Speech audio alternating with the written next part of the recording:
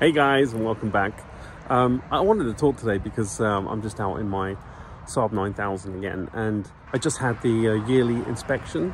So I thought well I had to put uh, my seats back in because I don't know if you have seen in the previous video I talked about how my 9000 I use like a pickup truck most of the time.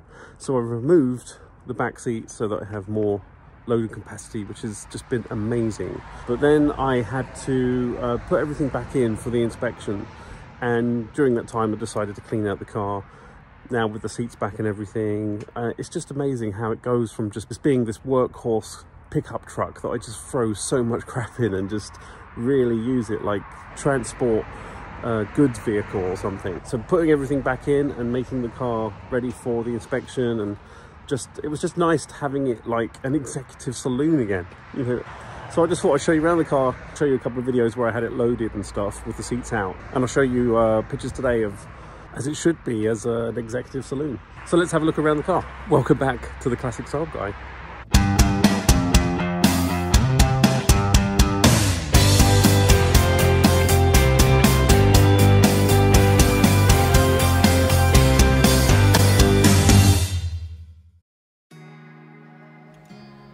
So if you're a follower of my channel, you'll know that I use my Saab 9000 to drive around the harsh environment of the Swedish winter. It does get quite a bit of abuse. I do fully load the back of the car with the seats out quite regularly, pulling a trailer, driving in minus 15, minus 20 temperatures. The car never misses a beat, it's always been really great and reliable. But it's easy to forget when you use the car all year round as a pickup truck just how actually luxurious it is when you put the seats back in. I mean, it is super comfortable and very spacious. In fact, it's hard to believe it's the same car. And even after months of being really abused and neglected and things just being thrown everywhere inside this car, just with a little clean and polish, all the interior surfaces just came up like new. As you can see here, even with the seats back in situ and then folded down into the load carrying configuration that this car was actually designed for, it still has a really, really good load capacity.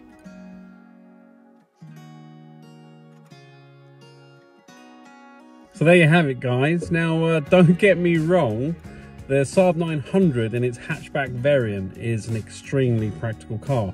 And before I actually got the 9000 with the hatchback, that was actually my go-to car, my go-to Saab uh, to transport things around. You know, it was the probably the most practical car I ever owned. I do think the wheelbase is slightly closer together at the back, so uh, it's not quite as wide as you know uh, the 9000. So the 9000 with the seats out does, I think, become a more practical car for uh, using as you know for loading and stuff but the Saab 900 is a bit higher, I think. So both have their benefits, you know, and advantages. But it was really, uh, really interesting to like get the car back for a couple of days into its kind of saloon mode, and it's just such a spacious five-seater. My kids were like, "Oh, we haven't seen it like this for ages," you know, and really enjoyed being in the back. So yeah, the the 9000 really is like uh, a daily pickup truck and a daily executive saloon in the same car. So what do you guys think? I know I've talked about the spacious uh, and loading capacity of this car before, but I just think as an all-rounder, it's just uh, it's just great. Well, what are your views and uh, what your experiences with other Saab models? I mean, even my Saab 90, I use to to the hilt for loading capacity, and that's a saloon.